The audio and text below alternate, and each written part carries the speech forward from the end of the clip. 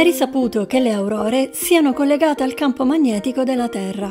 L'incontro con le particelle cariche del vento solare dà luogo all'affascinante fenomeno ottico. Su Giove però la situazione è diversa. La magnetosfera del gigante gassoso è carica non tanto di plasma solare quanto di particelle espulse dai vulcani del suo satellite più vicino, Io. È questa la scoperta più recente che approfondisce il meccanismo delle aurore di Giove. L'investigatore principale è la sonda Juno, una missione della NASA che monta due strumenti italiani, lo spettrografo GIRAM e il trasmettitore CAT per la mappatura dei campi gravitazionali. Lanciata nel 2011, ha raggiunto il pianeta dopo cinque anni per studiarne il campo magnetico e la composizione dell'atmosfera con un'orbita polare. A fianco di Giove e in squadra con i principali telescopi spaziali che orbitano intorno alla Terra, sta rivelando i misteri del pianeta più grande del Sistema Solare. Meno di un anno fa, in insieme agli strumenti a raggi X dell'XMM Newton dell'ESA, aveva rilevato per la prima volta sul campo magnetico in corrispondenza dei poli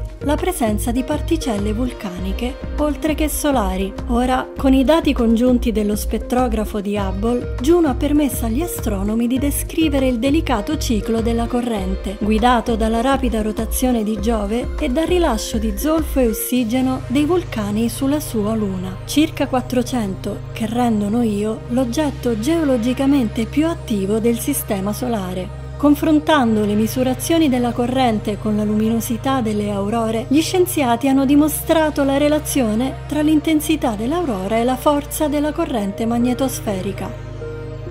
Scoprire questa relazione accresce la comprensione dei campi magnetici e la realizzazione di nuovi modelli applicabili anche ad altri pianeti.